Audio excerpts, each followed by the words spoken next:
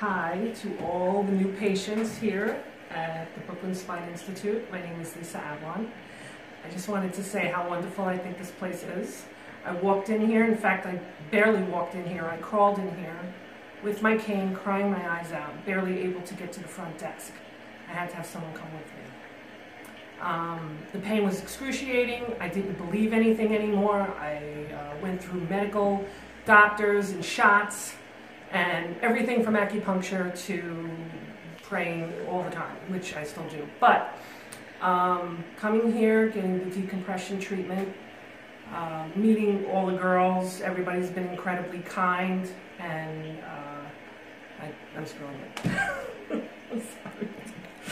No! I'm gonna edit it? Oh. Okay. Um, walking in the door, everybody was really kind. They were very considerate of me.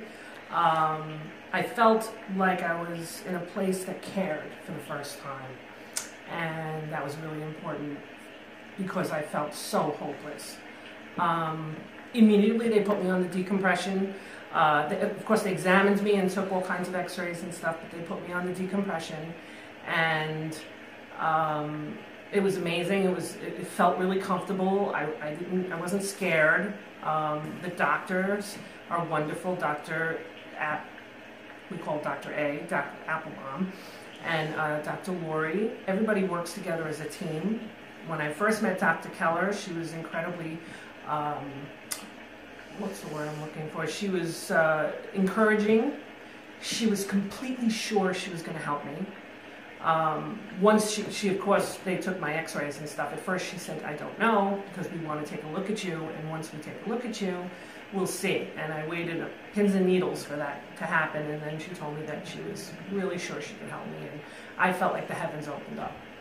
Um, fast forward, after all the treatments and everything, uh, like I said, walking with a cane, literally not being able to stand, crying every single day, filling up the, the waiting room with my tears, uh, just a pitiful mess. Um, I am walking without a cane today. I have makeup on. um, I laugh. I have a personality. I can't say enough about this place. This place is awesome. The girls are awesome. Everybody is so kind, so considerate. Um, they saw through my brokenness. They saw my spirit. And they always made me feel good about myself.